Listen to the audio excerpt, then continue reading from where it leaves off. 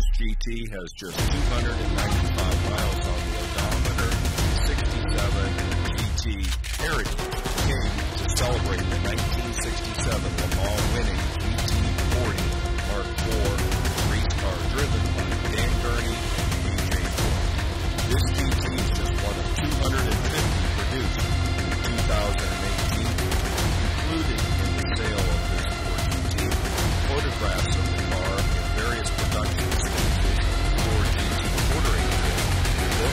manuals, in addition to the Ford GT watch.